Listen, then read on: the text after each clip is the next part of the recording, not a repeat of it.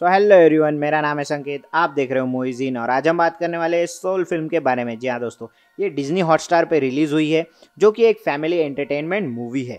दोस्तों, पहले बात करते हैं पिक्सार की। तो पिक्सार एक एनिमेशन स्टूडियो है, जो कि टॉय स्टोरी मूवी से अपनी इमेजिनेशन की बौछार हमारे ऊपर करते ही जा रहा है। पिक्सार हमेशा से अपनी मूवीज़ में वैल्यूज़ फ्रेंडशिप मॉरल्स इमोशंस और पूरी पूरी लाइफ की वैल्यूज़ ऐसी अनगिनत चीज़ें हमेशा हमें सिखाते आता है और हमें देते भी आया है। चाहे आप बात कर लो एक टीन के डिब्बे की, जो एक रोबोट है, जो कि प्यार के बारे में और प्यार का मतलब हमें समझाता है और किस तरह से मिलजुल के रहना है, वो भी हमें सिखाता है, एकदम इजी वे में समझाता है।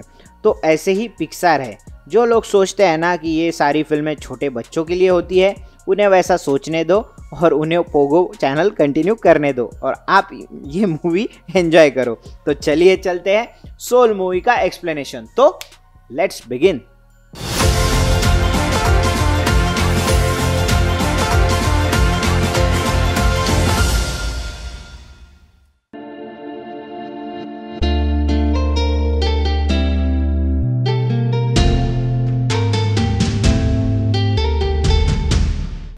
कहानी फोकस करती है जो गार्डनर पे, जो होता है स्कूल में एक म्यूज़िक टीचर।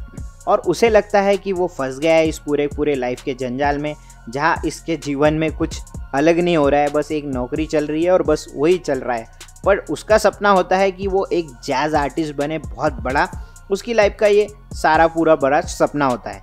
इसकी लाइफ तब मोड़ लेती है जब इसका एक स्टूडेंट करली नामक, उसे फ़ोन करता है और उसे बताता है कि उसके बैंड में जगह है। एक्चुअल में एक जैज आर्टिस्ट की, जो कि बैंड होता है जैज लेजेंड दोरोतिया विलियम्स का, जहाँ जो जाता है और दोरोतिया को इम्प्रेस करता है और ऑन स्पॉट जॉब पाता है। जो कि खुशी का ठिकाना नहीं होता है और अब उसे प्रिपेयर होना है उस फ़र्स्ट परफॉर्मेंस के लिए, जो उसी रात होने वाला है। पर वो इतने ज़्यादा खुशी में कुछ देखता नहीं है, भागते दौड़ते जाता है और एक गड्ढे में गिर जाता है। गिरते ही जो खुद की सोल को एक ग्रेट बियॉन्ड में पाता है। जी हाँ दोस्तों, ये सोल्ड वर्ल्ड में पहुँच गया है यहाँ पे। उसे पता चलता है कि उसके बड़े ब्रेक से पहले ही उसकी मौत हो चुकी है यहाँ पे, जहाँ से वो भागने की कोशिश करता है, पर वो जा गिरता है ग्रेट बिफोर में। जी हाँ दोस्तों, यानी ग्रेट बियॉन्ड और ग्रेट बिफोर ये कैसा है? तो ग्रेट बियॉन्ड यानी कि मरने के बाद की जगह जहाँ सोल जाते हैं और ग्रेट बिफोर, यानी कि जहाँ से सोल जन्म लेता है और अर्थ पे जाता है, यानी उसका जन्म होता है अर्थ पे, ऐसा ग्रेट बिफोर की वाली जगह रहती है। जहाँ उससे मिलती है जेरी। जहाँ पर सभी सोल काउंसलर का नाम जेरी ही होता है, वहाँ पे ये को है एक तरह से, जो कि अर्थ पर भेजे जाने वाले यंग सोल को तैयार करती है। फिर जो एक सोल ट्रेनर के रूप में खड़ा हो जाता है, जहाँ उसे दे दिया जाता है 22 साल का सोल, जो कि अर्थ पे अब तक लाइफ बिताने की वजह नहीं ढूंढ पाया है और उसे वो स्पार्क नहीं मिला है।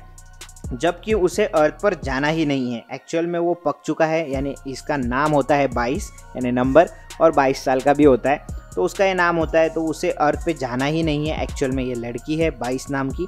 तो ये सोच के जो उसे बताता है कि तुम, तुम्हारा जो बैच है, जो कि कंटिन्यू बैच अगर पाँचों के पाँचों बैच तुम्हारे अगर कंप्लीट हो गए तो तुम अर्थ पे जाने लायक बन जाओगे। वो एक स्पार्क तुम्हें मिल जाएगा, जिस वजह से तुम अर्थ पे जा सकते हो। वो एक्चुअल में पास रहता है सोल्ड वर्ल्ड से, उस वर्ल्ड से अर्थ की तरफ़ जाने के लिए। तो जो उसे बोलता है कि तुम ये पास मुझे दे देना तो मैं चले जाऊँगा और मैं मेरे अर्थ पे मेरी जो बची खुची ज़िंदगी है, वो गुजार लूँगा। मेरा एक ड्रीम कम ट्रू हो जाएगा, यानी ड्रीम कंप्लीट कर लूँगा मैं, जो कि बहुत बड़ा ज़्यादा आर्टिस्ट बनने का था।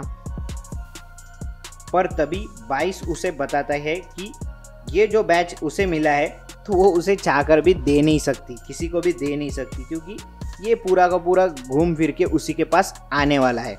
तो ये दोनों निराश होकर फिर से चले जाते हैं द जोन में, जो कि खोए हुए सोल की जगह है, जहाँ बाइस मिलता है मून विंड से, जो कि लॉस सोल को बचाने में का काम करते रहता है, जो उसे मदद करने के लिए राज़ी हो जाता है, जहाँ वो देखते हैं कि जो कोमा में है। यानी एक्चुअल में उसकी जो बॉडी है, वो कोमा में है।